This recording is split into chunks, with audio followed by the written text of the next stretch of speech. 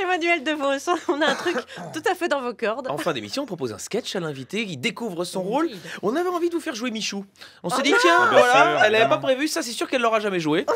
Parce que Jean-Marie Le Pen est Alors. allé fêter son anniversaire chez Michou. à Edouard Baird qui l'imite super bien. Eh ben, Ah. le, préparez le Alors. rôle pendant que je pitch. Euh, c'est Guillaume Meurice qui fera euh, Jean-Marie Le Pen. Oui.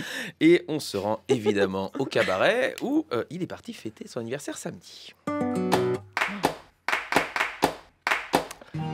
Bonsoir, bienvenue chez Michou. Ah oui, un Abend, n'est-ce pas? Oui. Il a réservé le teuton Bien sûr, mon petit farfadet, ouais.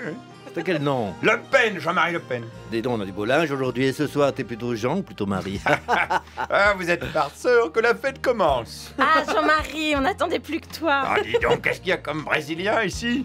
Il y en a plus qu'à l'anniversaire de Neymar. Oh, je suis en forme, je suis reparti comme en 40. Oh, quelle belle soirée. Le spectacle qui commence. Pour commencer, Dalida. Il venait d'avoir 18 Ah, ans. elle m'a reconnu. Il était beau comme un enfant. Elle me flatte, hein. Fort comme un homme. Ah, ça oui, d'ailleurs, elle est bien placée pour le savoir, cette chanteuse. Elle elle est charmante, mais elle a quelque chose de viril. C'était l'été, évidemment. Ah, l'été, ça me rappelle l'Algérie. Tiens, justement, Jean-Marie, ma Dalida que tu vois là est d'origine algérienne. Ah, ça alors, le monde est petit. Si ça se trouve, j'ai torturé sa famille, ça serait tout de même cocasse. Déjà vaincu, je retrouvais ma solitude. Ah, elle est seule aussi, ça me file le bourdon, ça me rappelle mon éviction du Front National. J'ai entendu ça. Et c'est à cause de Philippot et de ses amis Gestapettes, n'est-ce pas, tu le sais? Le FN est tenu par les PD maintenant. Parle fort, Pourquoi Jean-Marie. J'ai le droit de dire que j'aime pas ces gens Disons que c'est pas l'endroit. Ah quoi, quoi qu'est-ce qu'il y a, Michou? Il y a des PD ici Allez, on passe à Mireille Mathieu. Bonsoir à tous. Ah, j'aime beaucoup Mireille. Mireille, c'est une amie de Vladimir. Vladimir. Vladimir Poutine, j'aime beaucoup. Je peux te dire que lui et son pote Kadyrov, ils y vont pas de main morte avec les tarlousses, c'est autre chose que le mariage pour tous.